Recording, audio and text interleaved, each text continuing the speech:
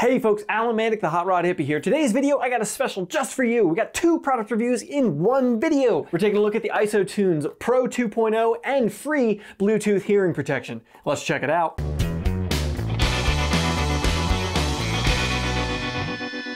So as I said, we are reviewing two products in this one video. We have the Pro 2.0 and the free Bluetooth hearing protection from the folks at IsoTunes. IsoTunes did provide both of these products for me to review. This is not in any way sponsored, paid, or anything like that. This is truly my opinion, but these were provided for me for review, so I want to be honest about that. I'm reviewing both of these in this same video because I didn't want to stagger review videos. It cover a lot of the same information between these two products, a lot of similarities here, and just didn't make sense to split this up into two videos. Now, I did review the IsoTunes Extra Bluetooth hearing protection in November of 2018. You can check out that video up here. I've been using these daily since then, so I have a little bit more information to use in this video than I did when I reviewed the extras back then. Now, as with all my product review videos, I'm gonna tell you the specifications of these, I'm gonna show you these things in operation a little bit, and then I'm gonna tell you what I really think of them from actually using them. Let's list off the specifications of the Pro 2.0 first. These things use the Bluetooth 5.0 protocol. They have a 16 hour rated battery life. They have a comfort ear hook design that goes up and over top of your ear. It comes with their own little carry case, as well as four of what they call the Trilogy tips. These are basically earplugs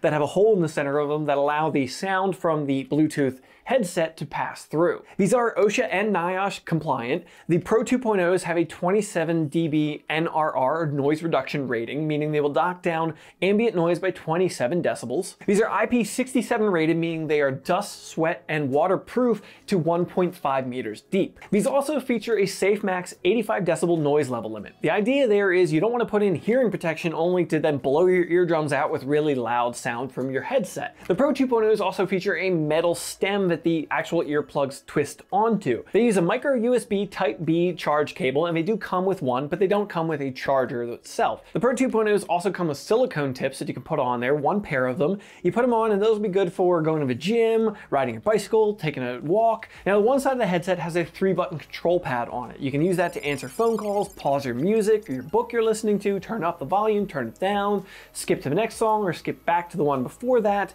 And you can use that to control various functions of your Bluetooth device from separated away from it. They also have a microphone built in, so you can continue to have them in your ears, protecting your hearing, and take a voice call as well. Now, the Pro 2.0s are available in either an orange and black version or a matte black version. They're on IsoTunes website for $99.99 with free shipping. Now, how about the IsoTunes Free? This also uses Bluetooth 5.0. These are IP45 rated, meaning they are dust, sweat, and water resistant. Not proof, resistant. The big thing about the Frees is they are truly wireless. There's no wire attaching the two units together. The Frees also have this handy little charging case you stick the earbuds into here and they recharge inside of this case because the case has a battery inside of itself and it can be plugged into the wall to charge up not only the battery in the case, but the buds themselves. The earbuds will recharge in one and a half hours from fully dead inside of the charge case, and the charge case itself will recharge from fully dead in two hours. There are magnets inside of here, so these things kind of just fall right into place when you put them in here, which is a pretty nice thing. You can close it up, stick in your pocket, and go back to what you're doing when you're not using them. Now, the earbuds themselves feature only a seven hour runtime, but charge case supposedly adds an additional 14 hours of runtime. Now the Frees are 22 decibel NRR noise reduction rated, meaning they only cut down 22 decibels of ambient sound around you. Now, the way you control the Frees is you actually have two different buttons on these. Each one of them has its own button. Where the IsoTunes logo in the black section is on these is actually a button on each of them that has a nice tactile click to it. The Frees come with three sizes of the Trilogy ear tips, but they use a different size ear tip than the Pro 2.0s and the Extras. They're a shorter tip so that the earbuds actually sit a little deeper into your ear and not protrude from your head so much. The Frees also do come with three sets of silicone tips for when you're using these outside of needing hearing protection. Now the free charge case charges with a USB Type-C cable, much like my Google Pixel phone. A lot of things are going to the Type-C cable. It's the oval shaped one. It is reversible so you can flip it and plug it in either way. I really like USB Type-C and I'm happy to see that on this case. The Frees are available in this green and black version or a matte black version and they are $109.99 with free shipping on the IsoTunes website. The Pro 2.0s and the Free both come with a one-year warranty and a 30-day money-back guarantee. If you're not satisfied, contact them and they'll give you your money back. This is where I can bring in my information from the extras, a little additional from the review of these. I picked them up in November of 2018. I did a review for you folks. Over a year now I've been using the extras, but I did have one pair of them die on me. I emailed the folks at IsoTunes. In less than a day, they got back to me, got my shipping information, sent me out a brand new pair of the IsoTunes extras and just asked that I send the old pair back so they could confirm the failure and just see if there's anything they could do to improve the product. One specification I didn't list for either of these is actually the working distance on them. The folks at IsoTunes only say 30 feet on these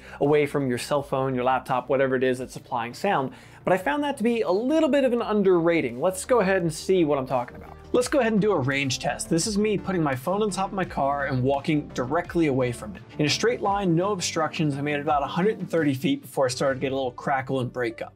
I then walked about double that distance and still didn't lose connection. Here's where I would normally leave my cell phone on one of my toolboxes. While walking over to my other toolbox is about 30, 40 feet away through an insulated steel wall, I did not lose connection on the Pro 2.0s or the Frees. Previously with the IsoTune Extras, right around here at this wall, I would have lost connection. Now obviously I can't show you a whole heck of a lot of using these because well I could just do my job and that's me using them.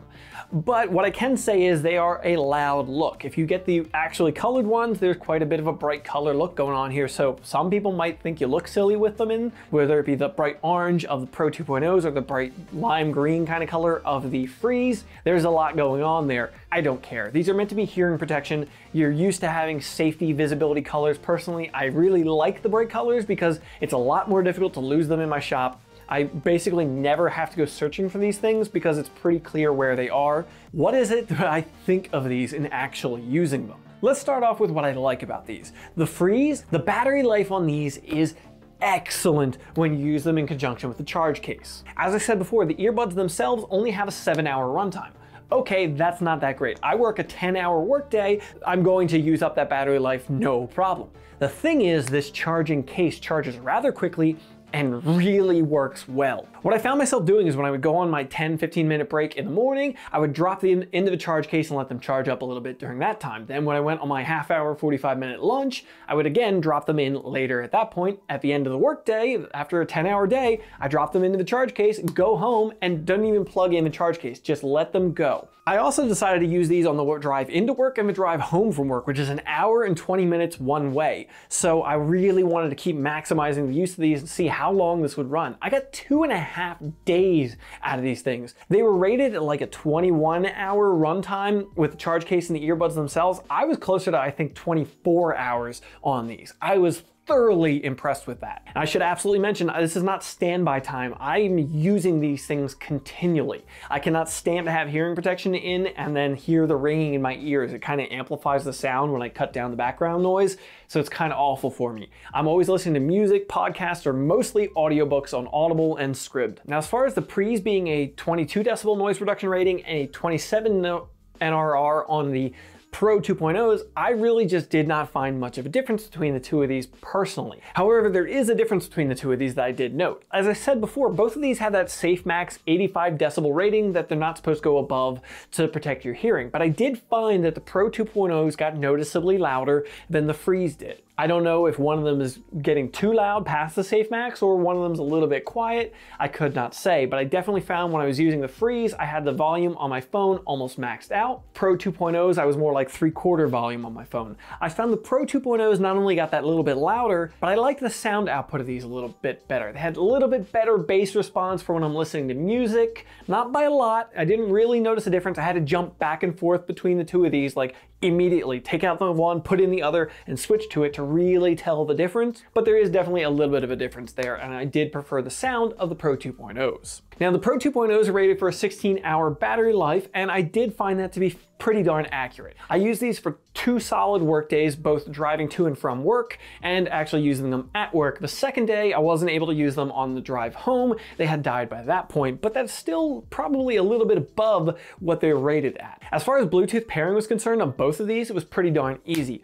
On the actual Pro 2.0s, you just turn them on by holding down the center button for a second. You'll hear a little sound saying that they are turned on. Go into your settings on your phone or whatever device, look for it, and pair the Pro 2.0 headset. On the Frees, all you gotta do is pull them out. As soon as you pull them out of a charge case, they actually turn on. You can manually turn them off and on, but I did not find a need to do that. I would pull them out of the case, put them in my ear, That turns them on, pair them in the phone, and you're ready to go. From then on, every time I wanted to use the Frees, all I had to do was take them out of the case, put them in my ears. If I was done using them, I took them out of my ears, put them in the case.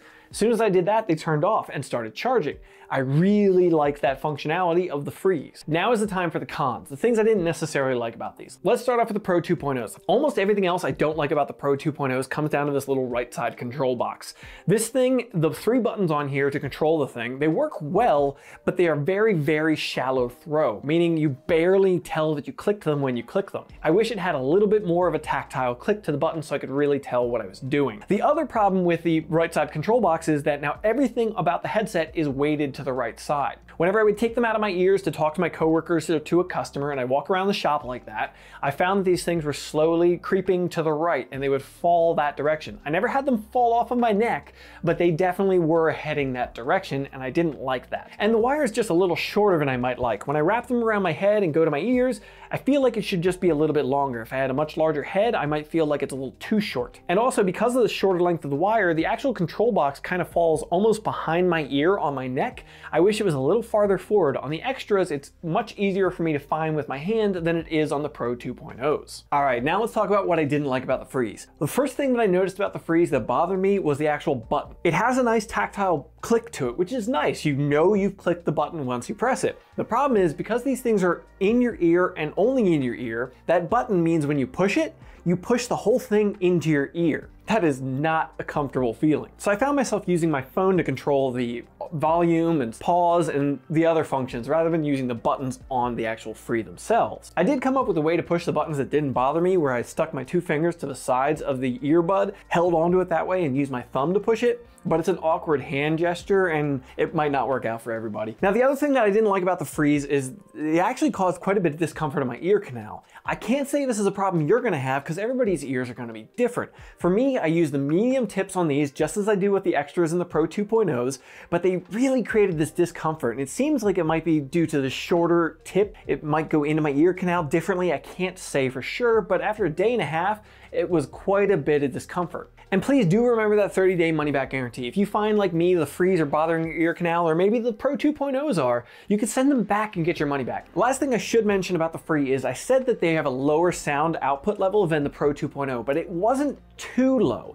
I found that my phone wasn't turned all the way up when I was using these and it was where I wanted it to be. I ended up turning the Pro 2.0 down to get it to match the free at the sound level that I wanted. But it did become a problem for me when I used the silicone tips on the free. When you're using the silicone tips on the free, the sound quality feels like it drops off quite a bit and they just don't get loud enough to overcome the sound around you. If you were trying to use these going to the gym or riding a bicycle, the wind rushing by or the sound of the equipment in the gym just wouldn't work out for you with free. The Pro 2.0s, sound quality does dip a little bit, but the noise level, the uh, sound output level of them can get overcome the sound around you, so I could see using the silicone tips with those. All right, it's recommendation time. If you're working in a noisy situation, a factory floor, a job site, or a shop with multiple people making noise all the time, I would say the Pro 2.0 is your way to go. You're gonna have better sound isolation, you're gonna get a little bit louder. These are what I would recommend for a more professional, noisy situation. The Frees, however, I, they really did impress me more than I thought they were going to.